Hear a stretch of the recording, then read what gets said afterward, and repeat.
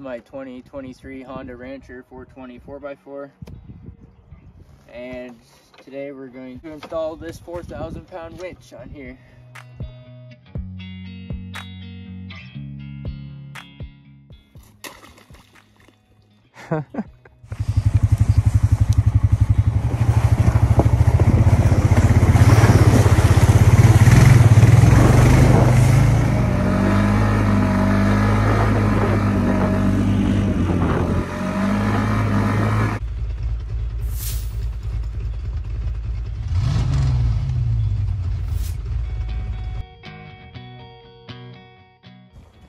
What do you think, Allie?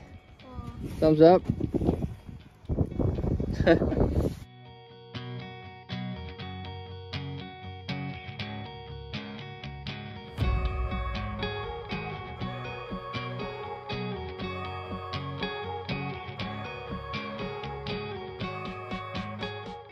Honda Rancher Foreman winch mount. Almost, almost fits in your hand almost. 2014 and up. Just in case you're wondering, loosen the skid plate, detach the front bumper. Oh, great. So I got a brand new winch to go on here, but it requires uh, a mounting plate because there's no flat surface to mount the winch to. Just went off-roading, took her through the rhubarb. Oh my goodness, she's got pine needles and all kinds of stuff going on. Getting her dirty. Brand new, but What is this for? that's the turbo boost. It makes it go mm-hmm. fast.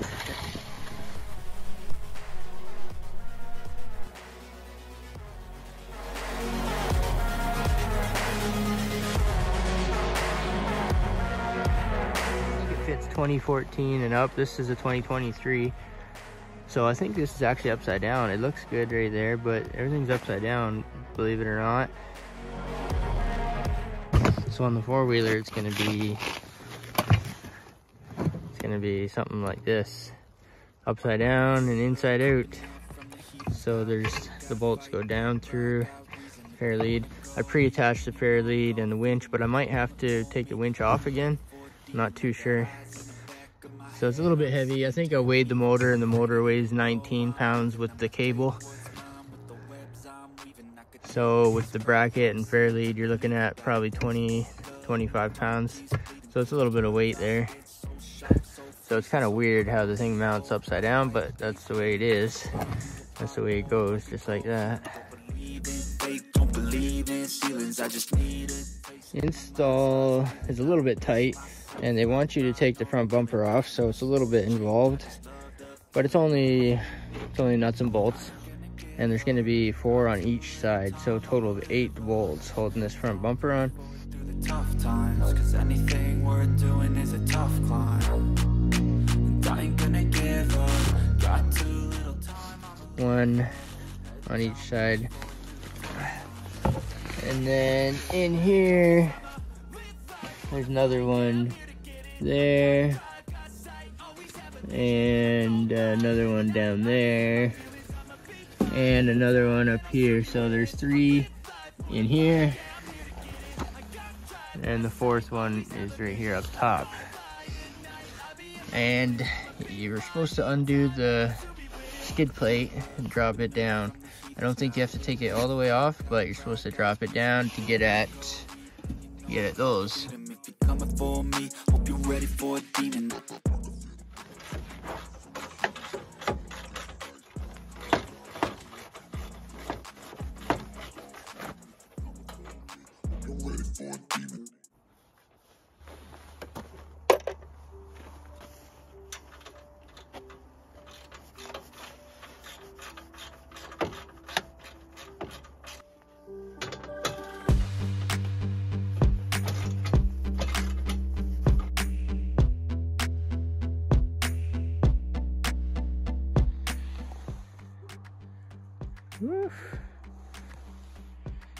So I did some finagling. I actually had the winch on the plate originally. Took it off again. Get the plate in here. I just bolted two bolts to the outside. And these don't line up right now. Not, but if you give the plate a little bit of torsion, they will line up. So I'm probably gonna have to loosen these off again a little bit. So this is gonna be bolted up in here. What a contraption, oh my goodness. So I got everything kind of kind of loose right now, but winch is on, fair lead is on, bracket is on. This is the front bumper. Oof. Haven't put the end on yet, but I do have the line coming through the fair lead here. I'll wrangle it in there. I might tighten up those winch bolts first.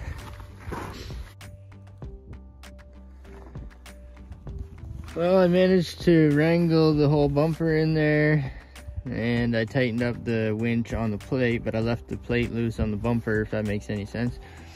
I managed to, uh, I had to tuck in these, these uh, wings, I don't know how to explain it, under this top plastic, but I managed to do that. And first thing I did was slip in these top bolts here. And uh, then the thing was just basically, it'll pivot a little bit since they go through this way. That'll give you a little bit of wiggle room. So pulled this down, tucked in those tabs behind this. But man, things tuck in here.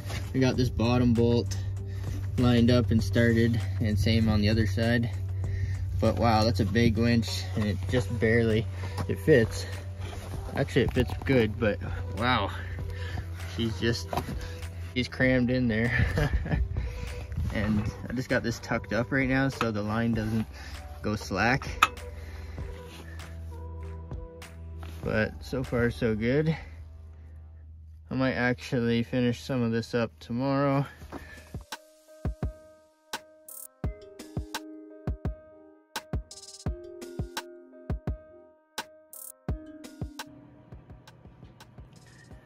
ignition controlled accessory plug. Hmm. Interesting.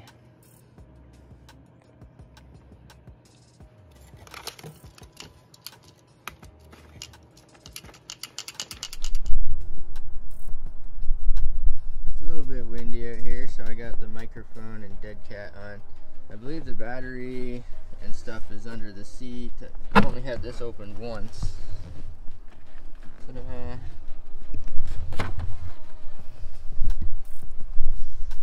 and then the battery is under here. I think even with the rear cargo seat, you can still do this, I believe. Pop this up. This up. Never done this before either. You gotta open up the rear section.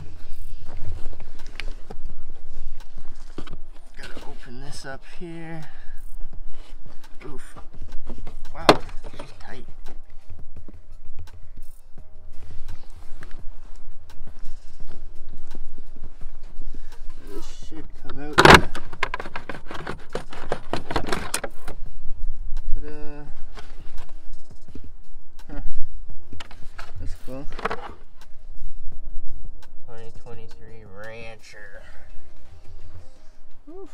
Got the winch motor bolted in the front bumper. Now we just need to do the wiring. I think they recommend you put the contactor in here somewhere. There's a solenoid there. For some reason the covers are not completely over the terminals. Same as this one, it's not completely covered either.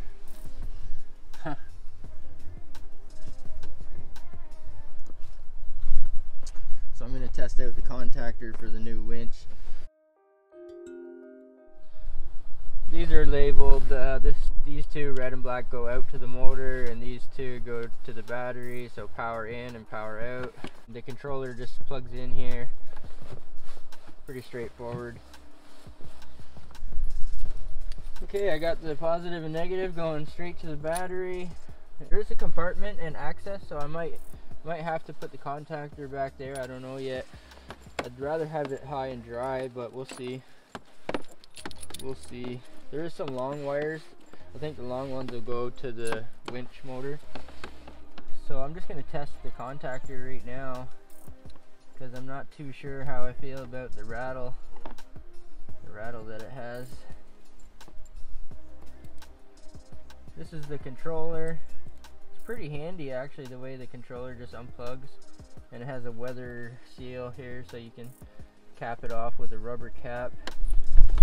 This is the controller. It has a handlebar mount in and out. For some reason in is down. That sounds sounds good. Anyway, that sounds alright. You don't want to drain your battery. You should have the vehicle running actually when you're using a high amperage motor or a winch or something. But I don't even have the winch motor hooked up yet, but it does sound okay. sounds like it's engaging both ways. I don't think it's sticking. So I'll try it. I just finished testing this contactor and it seems to be okay, even though it rattles. So I'm gonna go ahead and wire it up and see what happens. I think I'm gonna start at the front because there's some long cables to go to the contactor. So I think I'm gonna start here and work my way back and see how long they are.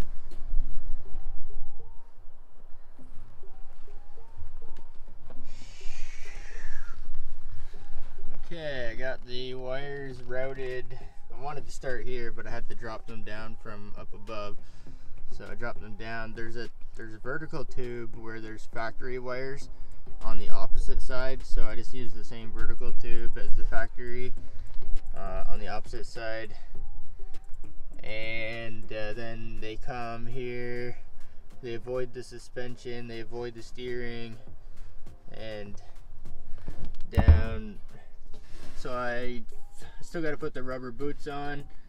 I'm just testing and getting it set up. So now I need to finish finish this end here and tidy up some zip ties or something. So it looks like they're going to be long enough to reach to the storage compartment. And I don't see any room here. I don't think this contactor is going to fit in here anywhere safely so what I'll do is I'll run the wires all the way back to this trunk compartment. And I'll have to put the contactor in here, I guess. Seems kind of weird way back here, but their wires are long enough. And everything's plastic here, so should be safe.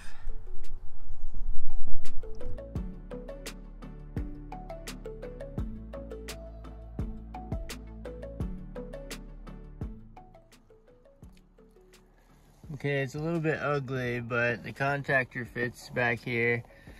I got the wire coming in for the uh, controller. Um, there's a little peekaboo hole there that the wires fit through. This closes. There's a little channel here that the factory taillight wire comes down through. So, so this part's a little bit ugly to fuse and the contactor, but the rest is turned out pretty good, I think. You can barely tell. It looks like all factory EFI. If you get a little bit close, you can see this one with the black on it. That's the power wire there. And I ran the power wires to the motor, to the winch motor. There was a factory hole here and it's another one on the other side so I use those and then I just put some zip ties I'm not very impressed with these zip ties and I don't have snips here with me so Um, I can do better, but that's not too bad. That's not too bad, and it works. You can hear the contactor clicking, and the winch works. I need to tighten this up, but I think it's gonna, I think it's gonna go on top, either on top or down bottom here.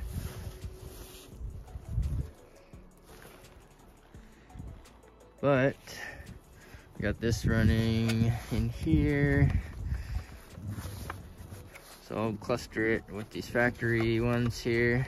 And this one here, it wasn't behind, but somehow I got those mixed up when I hooked the battery back up. So it was in behind here. So I can do that later. Step one, wake up early, gonna rise with the sun. Step two, get some good, some food in you. Step three, think real hard about what you wanna be. Step four, everybody just do your thing. Wake up, today's gonna be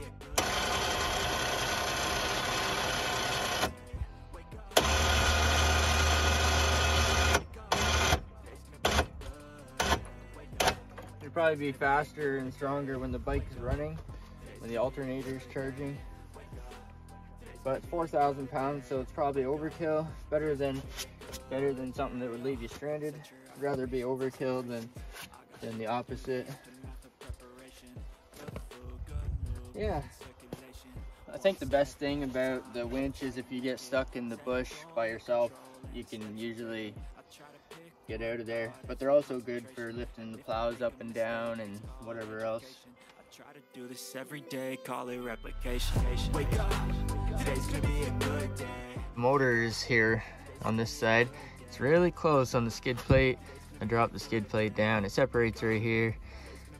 Uh, the bolts are here, here, and one more down there. To get the bumper off as well as this top, as well as this top bolt here to get the front bumper off. I did that. It was getting a little dark and late when I did that. The wires are here on this side. The motor is here on this side. On the other side, there's a free spool mechanism. In the front, you got the fair lead. And over here is a free spool mechanism and planetary gear. This is a big planetary gear. That's why I went for the 4000 because if it doesn't have the planetary on this end, uh, I think they're pretty much useless if they don't have the the big planetary gear on this side. So yeah, they have a better braking system and uh, better planetary gear. This is where I put the winch controller for now. It's accessible. It was either under or over, and I'm not really sure what's better. But I decided to put it on the opposite side of the throttle, so a lot of the functions are over here, electronic functions. And this side is just throttle and brake. So you, you might be on the throttle, you might be on the brake. So I put it over here on this side.